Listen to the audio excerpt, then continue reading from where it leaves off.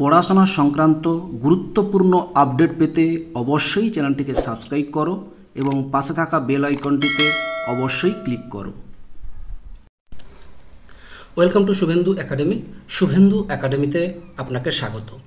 আজকের আমি এই ভিডিওতে আলোচনা করব যে সমস্ত ছাত্রছাত্রী দ্বিতীয় শ্রেণীতে পড়াশোনা করছে, তাদের জন্য মডেল কোশ্চেন একটা প্রথম যে ইউনিট টেস্ট পরীক্ষা হবে, যে প্রথম যে পরীক্ষা হবে, এই সর্বপ্রথম এই দ্বিতীয় শ্রেণির ছাত্রছাত্রীরা প্রথম পরীক্ষা দিচ্ছে, তার প্রশ্নপত্র কেমন হবে, কীভাবে লিখতে হবে, ঠিক আছে? বিস্তারিত আমি এই ভিডিওতে দেখাবো। ভিডিওটি প্রথম থেকে শেষ পর্যন্ত দেখুন, যদি ভালো লাগে অবশ্যই লাইক দিন, আর আমার চ্যানেল নতুন হলে অবশ্যই চ্যানেলটিকে সাবস্ক্রাইব করে রাখুন, কারণ পরবর্তী যখন ভিডিওগুলো দেবো, অবশ্যই সঙ্গে সঙ্গে আপনার কাছে নোটিফিকেশান চলে যাবে। আজকের আমি এই ভিডিওতে প্রশ্ন তেমন দেখাবো, এই প্রশ্নের উত্তরভাব কীভাবে কীভাবে লিখতে হয়, সেটাও আমি সুন্দর করে এখানে বলে দেবো। ভিডিওটা যেন প্রথম থেকে শেষ পর্যন্ত একটু দেখুন। আচ্ছা প্রশ্নে এই প্রশ্ন যেটা দেওয়া হবে, সেই প্রশ্নে কিন্তু উত্তরগুলো লিখতে হবে। ছাত্রছাত্রীদের প্রশ্নের উপরেই উত্তর লিখতে হবে। প্রশ্নের ধরনটা একটু পরপর দেখে নিন, কীভাবে প্রশ্নগুলো হয়, ঠিক আছে? দেখুন, এটা হচ্ছে নিরবিচ্ছিন্ন সার্বিক মূল্যায়ন সিসি দু হাজার বাইশ। পর্যায়ক্রমিক ওয়ান এটা পর্যায়ক্রমিক ওয়ান প্রথম পুঁজিতে পরীক্ষা হচ্ছে, পরে পর্যায়ক্রমিক টু হবে এবং শেষে পর্যায়ক্রমিক থ্রি হবে। ঠিক আছে? এটা প্রথমে সংযোগ স্থাপনের সক্ষমতা। সংযোগ স্থাপনের সক্ষমতা এই বিষয়ে দশ নম্বরের পরীক্ষা হবে, সময় থাকবে কুড়ি মিনিট। ঠিক আছে? এটা দ্বিতীয় শ্রেণির। আচ্ছা প্রথমে কি করতে হবে না? বিদ্যালয়ের নাম লিখতে হবে এখানে, বিদ্যালয়ের নাম লিখবেন। ছাত্র বা ছাত্রী যদি হয়, ছাত্র বা ছাত্রীর নাম এখানে লিখতে হবে। বিভাগ, অর্থাৎ এ বিভাগ না, বি বিভাগ না, সি বিভাগ যদি, বিভাগ ক, খ এ যদি থাকে, তা লিখবেন। না লিখে থাকলে লেখা দরকার নেই। রোল নাম্বারটা অবশ্যই লিখতে হবে। প্রথম কাজ হচ্ছে এইটা। এই প্রশ্নের উপর উত্তর করতে হবে। আমি এখন প্রথম প্রশ্নগুলো পরপর করে দেখে যাচ্ছি। এরপর সুন্দর করে প্রশ্নের উত্তরগুলো কীভাবে করতে হবে সেটা আমি এই প্রশ্নের উপরেই দেখাবো। ঠিক আছে? এক নম্বর প্রশ্ন দেখুন। যুক্ত বর্ণের তলায় দাগ দাও। এখানে যেখানে যেমন ক, কাণ্ড, শিল্প, শঙ্খ, গ্লাস, এগুলোর মধ্যে যুক্ত বর্ণ কোনগুলো? সেখানে তলায় দাগ দিতে বলা হয়েছে। ঠিক আছে? আচ্ছা তারপর দুই থেকে বলেছে বাক্য রচনা করতে বলা হয়েছে। কি কি? অদ্ভুত দিয়ে বাক্য রচনা করতে বলা হয়েছে। আর রৌদ্র দিয়ে বাক্য রচনা করতে বলা হয়েছে। আচ্ছা তিন নম্বর, সঠিক শব্দের ঠিক টিকচিহ্ন দাও।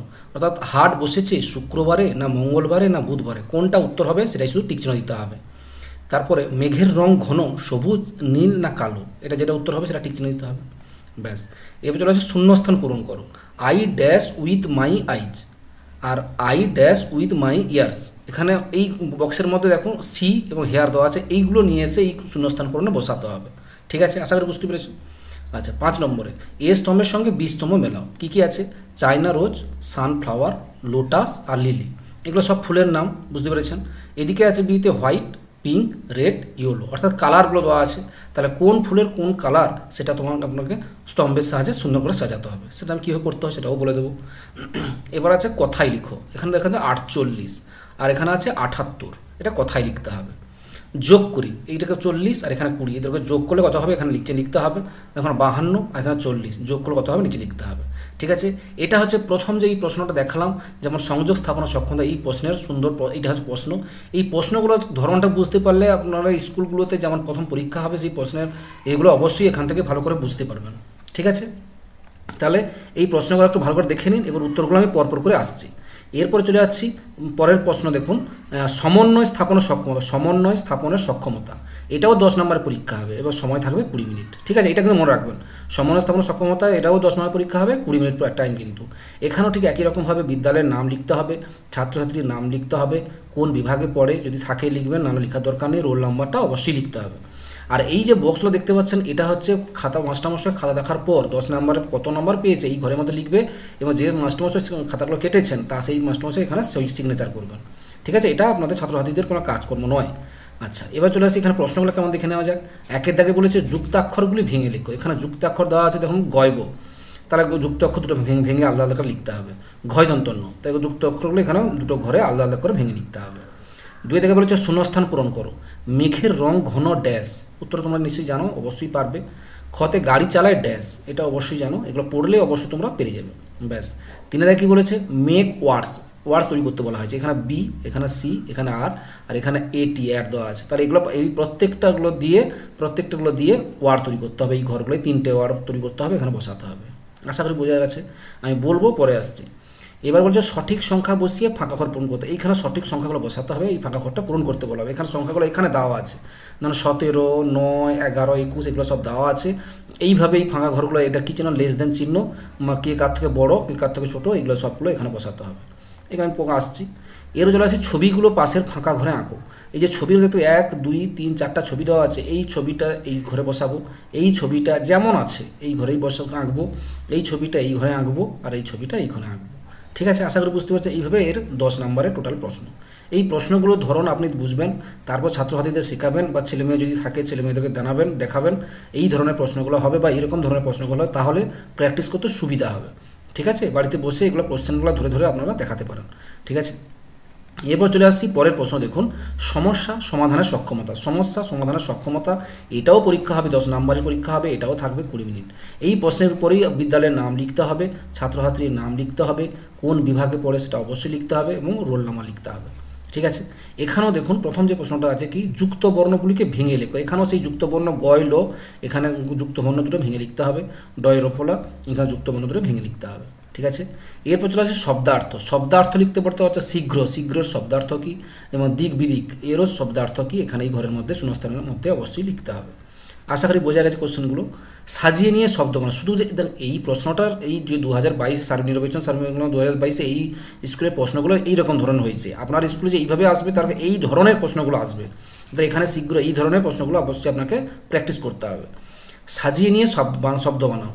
এখানে দেখুন উল্টো পাল্টা দেওয়া আছে, এটাকে সুন্দর করে সাজিয়ে লিখতে ল, ময়, ব, ও। এটা সাজিয়ে নিয়ে কি হবে? সেটা এখানে লিখতে হবে।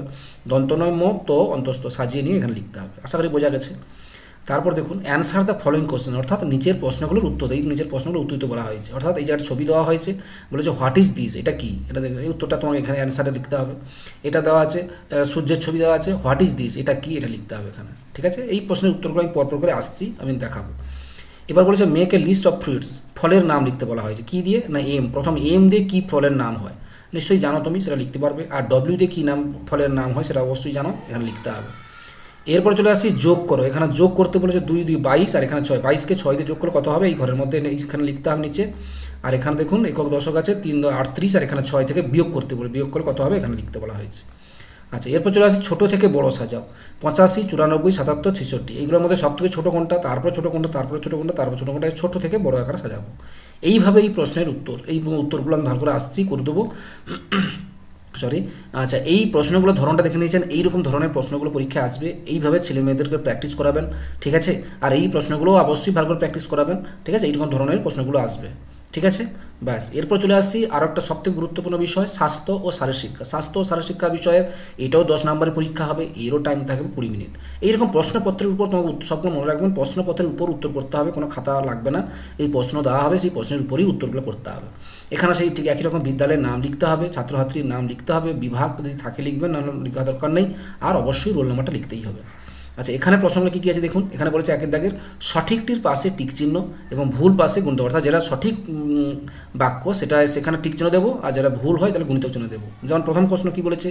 অশোক স্তম্ভের চক্র ভারতের নাগরিকগণের এগিয়ে চলার মহানীতিতে দৃঢ়বদ্ধ থাকার প্রতীক। এটা ঠিক না ভুল? যদি ঠিক হইতে ঠিক করব, যদি ভুল হয় তো গুণিত চিহ্ন দেবো। পরে প্রশ্ন, বন্দে মাতরম জাতীয় সংগীত রচনা করেছিলেন রবীন্দ্রনাথ ঠাকুর। পরের প্রশ্ন, ভারত সরকার রাষ্ট্রীয় প্রতীক গ্রহণ করে উনিশশো পঞ্চাশ সালের ছাব্বিশা জানুয়ারি। কোথায় হবে অবশ্যই লিখতে হবে। দাঁত মাজার জন্য ছাই ব্যবহার করা উচিত। এটা ঠিক না ভুল। যদি ঠিক হয় ঠিক চিহ্ন, ভুল হলে গুণিতক চিহ্ন। কোলাজ হলো মালা গাঁথার খেলা। এটা ঠিক না ভুল অবশ্যই ঠিক করতে হবে। এখানে ঠিক না ভুল, ঠিক থাকলে ঠিক আর গণিত ভুল হলে গণিতক চিহ্ন।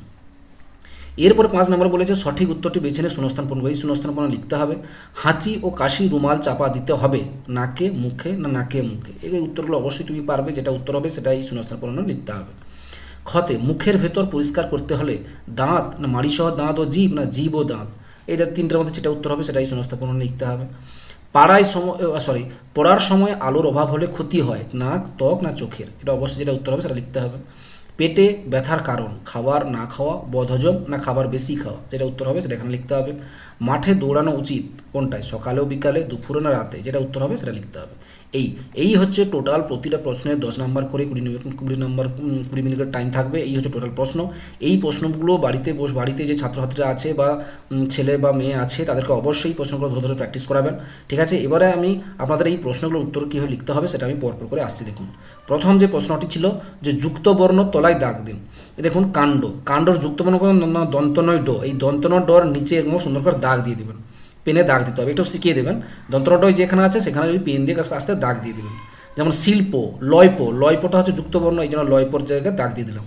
শঙ্খ, তাহলে অবশ্য ঐক্ষ। এবং ঐক্ষ আছে যুক্তবর্ণ, তাহলে ঐক্ষ নিচে দাগ দিয়ে দিলাম। ঐক্ষর শুধু দাগ দেবে, অন্য পুরোটা নয়। ঐক্ষ যেখানে থাকবে, শুধু সেই জায়গাটা দাগ দেবে। যেমন গয়ল আঁকা তোমাদের গ্লাস ওই গয়লটা যুক্তবর্ণ গয়লতে দাগ দেবেন। এইভাবে সুন্দর করে যুক্তবর্ণ তলায় দাগ দিতে বলা হয়েছে। এবার বলছি, ধরুন বাক্য রচনা করুন। অদ্ভুত। আমি এটা এখানে লিখেছি, আপনারা অন্যরকমভাবে লিখতে পারেন। অদ্ভুত। আমি অদ্ভুত রকমের একটি পশু দেখলাম, ঠিক আছে? আমি অদ্ভুত রকমের একটা পশু দেখলাম। আপনি আপনার মতো করে লিখতে পারেন বা ছেলেকে অন্যভাবে শেখাতে পারেন, কোনো সমস্যা নেই। যেমন রৌদ্র, গরমকালে রৌদ্রের তাপ প্রচণ্ড, গরমকালে রৌদ্রের তাপ প্রচণ্ড, ঠিক আছে? উত্তরটা আশা করি বোঝা গেছে। আচ্ছা পরের প্রশ্ন তিনি দেখে সঠিক শব্দে টিকচন দিতে বলা হয়েছিল। হাট বসেছে শুক্রবারে, মঙ্গলবারে না বুধবারে? উত্তরটা নিশ্চয়ই বই থেকে বুঝতে পেরেছেন যে হাট বসেছে শুক্রবারে। উত্তরটা হবে কি? শুক্রবারে টিকচন দিয়েছে এই জন্য, শুক্রবারে। মেঘের রং ঘন, সবুজ, নীল, কালো। উত্তরটা নিশ্চয়ই বুঝতে পেরেছেন, মেঘের রং অবশ্যই ঘন, নীল। নীলে টিকচিহ্ন দিতে হবে, এখানে টিক, নীলে টিকচিহ্ন দিয়ে দিয়েছি। আশা করি বোঝা গেছে। এবার যে শূন্যস্থান পূরণ ছিল ইংরেজিতে, কী ছিল? I dash with my eyes উত্তরটা কী হবে? এখানে প্রথম যেটা আছে see I see with my eyes ঠিক আছে? পরের প্রশ্ন দেখুন I dash with my ears এখানে অবশ্যই কী হবে? I hear with my ears ঠিক আছে? এইভাবে সুন্দর করে এখান থেকে দেখে এখানে বসাতে হবে। আচ্ছা এরপর চলে আসছি এ স্তম্ভের সঙ্গে বি স্তম্ভ মেলা কীভাবে করবেন? এইভাবে করতে হবে। দেখুন চাইনা রোজ। চাইনা রোজ, বুঝতে পারছি চাইনা রোজটা কী হবে? চাইনা রোজ মানে কি? চাইনা মানে জবা ফুল নিশ্চয়ই জানেন? জবা ফুলের রং কী হয়? লাল হয়। এই জন্য রেড, রেডের দিকে তীর্চনা দিয়েছি যে রেড। ঠিক আছে? সানফ্লাওয়ার। নিশ্চয়ই সূর্যমুখী ফুল যেখানে হলুদ হয়। এই জন্য ইয়োলো। হলুদ মানে ইয়োলো, হলুদ রং দিয়েছি। লোটাস, পদ্ম ফুল। পদ্ম ফুল অবশ্যই পিঙ্ক হয়। এই জন্য পিঙ্কের দিকে তীর্চনা মারলাম। আর লিলি লিলিটা সাদা হয়। এখানে হোয়াইট এইখানে হোয়াইটে দিকে এইভাবে সুন্দর করে এগুলো স্তম্ভের সঙ্গে বি স্তম্ভে এইভাবে সুন্দর করে মিলে ফেলবেন। আশা করি বুঝতে পেরেছেন। এবার কথা লিখতে বলেছে আটচল্লিশ। আটচল্লিশ এইভাবে লিখবেন, আট ও আটচল্লিশ, চলো হলো আটচল্লিশ। আটাত্তর আটাত্তর এইভাবে লিখবেন, আটাত্তর, আট একাত্তর, আটাত্তর। ঠিক আছে? এইভাবে কথাই লিখতে হবে, এইভাবে সুন্দর করে কথাই লিখতে হবে। আচ্ছা এবার যোগ করতে বলা হয়েছে। চার শূন্য, দুই শূন্য। শূন্য আর শূন্য যোগ করলে হবে শূন্য, আর এখানে চার আর দুই যোগ করলে হবে ছয়। তাহলে এখানে হবে ষাট।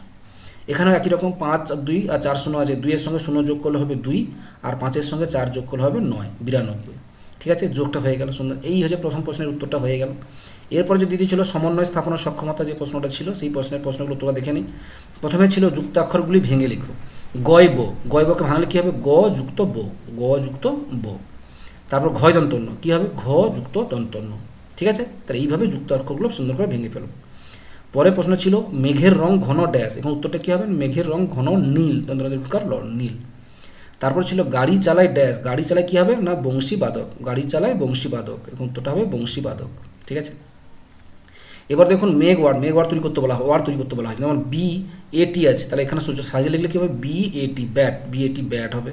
তারপর আছে সি এখানে এটি তাহলে কী হবে? সাজালে কী হবে? সি এটি ক্যাট এখানে আর আছে আর এখানে এটি আছে। আর এটি র্যাট ঠিক আছে? আশা করি বুঝতে পেরেছেন। এইভাবে সুন্দর করে উত্তরগুলোকে বুঝিয়ে দেবেন ছেলেমেয়েদেরকে। আচ্ছা সঠিক সংখ্যা বসিয়ে ফাঁকা ঘর পূরণ করো এখানে প্রথমে খেয়াল করে, দেখা হয়নি, আমি বসিয়ে দিয়েছিলাম, প্রথমে এটা ভুল লেখা হয়েছে, কারণ আমি এই ঘরটা, এইটা যে দেওয়া আছে আমি দেখিনি, এই জন্য এইখানে এইভাবে দিয়েছিলাম, দুই, তিন, চার, পাঁচ, এইভাবে দিয়ে দিয়েছিলাম, কারণ দুইয়ের থেকে তিন বড়ো, তিনের থেকে চার বড়ো, চার থেকে পাঁচ বড়ো, এইভাবে দিয়ে দিয়েছিলাম। যদি এই ছবিটা না থাকে, তাহলে আপনাকে এইভাবে উত্তরটা লিখতে হবে। আর যেহেতু ছবিটা এটা দেওয়া আছে, এখানে কী দেওয়া আছে? নয়, একুশ, এগারো, সতেরো, এগুলো দেওয়া আছে, তাহলে কী হবে? সব থেকে ছোটো কোনটা? নয়, এখানে নয় লিখলাম। তারপরে ছোটো কোনটা? এগারো। এগারো লিখলাম। নয় থেকে এগারো বড়ো। তাহলে এগারোর পর থেকে সতেরো বড়ো, সতেরো থেকে একুশ বড়ো। তাহলে এইভাবে সুন্দর করে এই প্রথমটা, এই প্রথম ঘরটা লিখতে হবে নয়। তারপরে ঘরে লিখতে হবে এগারো। তারপরে ঘরে লিখতে হবে সতেরো। তারপরে ঘরে লিখতে হবে একুশ। এইভাবে সুন্দর করে এই ঘরটা পূরণ করবেন। আশা করি বোঝা গেছে। এরপর ছবিগুলো পাশের আঁকা ছবি মানে ফাঁকা ঘরে আঁকতে বলা হয়েছে। এটা আমি আমার মতো লিখেছি মানে এঁকেছি, এটা ঠিক হয়নি। তবুও আপনাদেরকে জাস্ট জেনে দিচ্ছি। যেমন এখানে বৃত্ত আছে, এখানে একটা বৃত্তটা এইভাবে ছবি করে সুন্দর করে আঁকসেলকে দেখাবেন যে এইভাবে সুন্দর করে ছবিটা বৃত্ত আঁকতে হবে। এখানে একটা বৃত্তর ভিতরে আবার একটা বৃত্ত আছে, এখানে এইভাবে একটা বৃত্ত আঁকে ফেলবেন, তার ভিতরে আবার একটা বৃত্ত এঁকে দিতে বলবেন এখানে একটা ত্রিভুজ আছে তাহলে এখানে একটা ত্রিভুজ সুন্দর করে এঁকে ফেলতে বলবেন। আর এখানে একটা ত্রিভুজের ভিতরে আবার একটা ত্রিভুজ আছে, এখানে একটা ত্রিভুজের ভিতরে আবার একটা ত্রিভুজ এঁকে ফেলে আমি জাস্ট এমনি পেন দিয়ে করে দিয়েছিলাম, আপনারা সুন্দর করে এখানে করে ফেলবেন। ছেলেদের বুঝে দিবেন যে এইভাবে আঁকতে হবে। ঠিক আছে? তাহলে এই প্রশ্নের উত্তরটাও আমরা সুন্দর করে হয়ে গেল। এরপরে চলে আসছি সমস্যা সমাধানের সক্ষমতা। এটাও দশ নম্বর আছে। এখানে প্রশ্নগুলো উত্তর কী কী আছে দেখি? এখানে প্রথম ছিল যুক্ত বর্ণগুলোকে ভেঙে লিখো। গয়ল গয়লকে ভাঙলে কী হবে? গ যুক্ত, এখানে লিখো লো। গ যুক্ত লো। ডয়ের ফলা তো কী হবে? ড যুক্ত রো। ড যুক্ত রো। আচ্ছা শব্দার্থ লিখতে বলা হয়েছে, শব্দের অর্থ। শীঘ্র। শীঘ্র মানেটা কি? না, শীঘ্র মানে হচ্ছে তাড়াতাড়ি। লিখবেন তাড়াতাড়ি। তাড়াতাড়ি।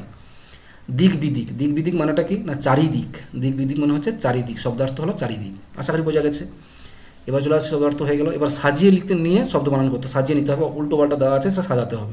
ল ময়ব ল এখানে সাজিয়ে লিখলে কী হবে? অ ময়ব ল অম্বল। তার দন্তনয়, ম, ত, অন্তস্থ। এখানে সাজিয়ে লিখলে কী হবে? তন্ময়, ত দন্তন ম, অন্তস্থ। তন্ময়। এবার বলেছে অ্যান্সার দ্য ফলোয়িং কোশ্চেন নিচে প্রশ্নগুলো উত্তর দিতে বলা হয়েছে। হোয়াট ইজ দিস মানে এই ছবিটা আছে। হোয়াট ইজ দিস এটা কি দেখতে পাচ্ছি? না দিস ইজ এ ট্রি উত্তরটা এইভাবে লিখবে this is a tree this is a tree এখানে কি না, এটা সূর্য। হোয়াট ইজ দিস তাহলে কী হবে? না দিস ইজ দ্য সান এটা দ্য সান হবে। দিস ইজ দ্য সান ঠিক আছে? আশা করি বোঝা গেছে। এবার হচ্ছে মেয়েকে লিস্ট অফ ফ্রুটস ফলের নাম লিখতে বলেছে। এম দিয়ে। এম দিয়ে কী হয়? এম দিয়ে হবে mango M N G O mango এইভাবে লিখবে ম্যাঙ্গো ডব্লু দিয়ে কী হয়? ফলের নাম ওয়াটার মিলন এখানে লিখবেন W A T R M E L O N watermelon ঠিক আছে? এইভাবে সুন্দর উত্তর করে করবেন। এবার চলে আসে যোগ। করতে বলা হয়েছে দুই দুই, এখানে ছয়। ছয়ের সঙ্গে দুই যোগ করলে কত হবে? ছয়ের সঙ্গে দুই যোগ করলে হয় আট, আর এখানে দুইটা নেমে গেল। তাহলে অর্থাৎ আঠাশ হলো। এখানে তিন দশ আটত্রিশ থেকে ছয় বিয়োগ করতে বলেছে। অর্থাৎ প্রথমে আট থেকে ছয় বিয়োগ করব, আট থেকে ছয় বিয়োগ করলে কত হবে না? দুই, আর এখানে তিনটা নেমে গেল। আচ্ছা এরপর ছোটো থেকে বড় সাজতে বলেছে। এখানে সব থেকে ছোটো কোনটা দেখতে পাচ্ছি না? সব থেকে ছোটো হচ্ছে ছিষট্টি। এখানে ছিষট্টি লিখলাম। তারপরে ছোটো কত না, সাতাত্তর সাতাত্তর লিখলাম। তারপরে কত হবে? পঁচাশি পঁচাশি লিখলাম, তারপর লিখব চুরানব্বই। ছোটো থেকে বড় কত বলে এটা এটা ছোটো, তারপরে এটা ছোটো, তারপরে ছোটো, তারপরে। এইভাবে পরপর করে মানে ছোটো ছোটো থেকে বড় সাজাতে হবে। তাহলে এই প্রশ্নের উত্তরগুলো আমি সুন্দর করে বলে দিলাম। আশা করি বুঝতে পেরেছেন। ঠিক আছে। এবার শেষে যেটা আছে, স্বাস্থ্য শারীর শিক্ষা, যেটা কোনটা কোনটা উত্তর হবে সেটা আমরা পরপর দেখে নিই। এক নম্বর প্রশ্ন ছিল, অশোক স্তম্ভের চক্র ভারতের নাগরিকগণের এগিয়ে চলার মহান নীতিতে দৃঢ়ভাবে, দৃঢ়বদ্ধ থাকার প্রতীক। এটা অবশ্যই ঠিক এই জন্য ঠিক চিহ্ন দিলাম। যেটা ঠিক তাহলে ঠিক চিহ্ন। বন্দে মাতরম জাতীয় গীত রচনা করেন রবীন্দ্রনাথ ঠাকুর। এটা একেবারে ভুল, বঙ্কিমচন্দ্র হবে, তাহলে এটা ভুল, এই জন্য গণিতক চিহ্ন দিলাম। ভারত সরকার রাষ্ট্রীয় প্রতীক গ্রহণ করে উনিশশো পঞ্চাশ সালের ছাব্বিশে জানুয়ারি। হ্যাঁ এটাও ঠিক, এই জন্য ঠিক চিহ্ন দিলাম। দাঁত মাজার জন্য ছাই ব্যবহার করা উচিত, এটা একেবারে ভুল, দাঁত মাজার সময় ছাই ব্যবহার করা উচিত নয়, এই জন্য এটা গণিতক চিহ্ন। কোলাজ হলো মালা গাঁথার খেলা, এটা একেবারে ভুল, এটা ঠিক নয়, কোলাজ হলো ওই কাগজের ফুল তৈরি করার জন্য লাগে। তাই জন্য এখানে বলছে মালা গাঁথার খেলা এই জন্য এটা ভুল। তাহলে এইভাবে সুন্দর করে এই ঘরগুলো ঠিক চিহ্ন এবং ভুল চিহ্ন যেটা ঠিকভাবে ঠিক চিহ্ন এবং ভুল হলে ভুল চিহ্ন দিতে হবে। সঠিক উত্তরটি বেছে নেয় শূন্যস্থান, এই শূন্যস্থান করে লিখবে, আমি জাস্ট দাগিয়ে দিয়েছি হাঁচি ও কাশি রুমাল চাপা দিতে হবে, ড্যাশ। অবশ্যই উত্তরটা হবে নাকে ও মুখে। উত্তরটা হবে নাকে ও মুখে। এই এই শূন্যস্থান পূরণে অবশ্যই লিখে দেবে, নাকে ও মুখে। পরের প্রশ্ন, মুখের ভেতর পরিষ্কার করতে হয়, দাঁত, মাড়িসহ দাঁত ও জীব ও জীব ও দাঁত। আমরা অবশ্যই মুখের ভেতর পরিষ্কার করব, জীব এবং দাঁত। জীব ও দাঁত উত্তরটা এই পূরণ লিখবে, জীব ও দাঁত।